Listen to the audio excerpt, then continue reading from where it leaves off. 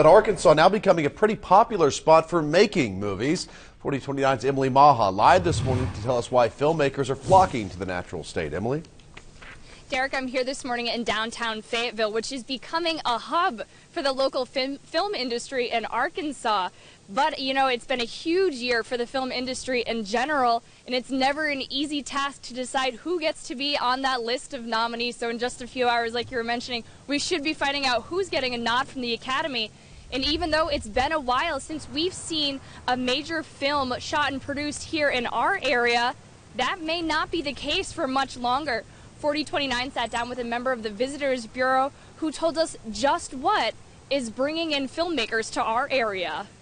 Two years ago, the state legislature passed an incentive for film directors to come and film in Arkansas, and I think it's been really good uh, for people to notice Arkansas is a great location for filming uh, various projects.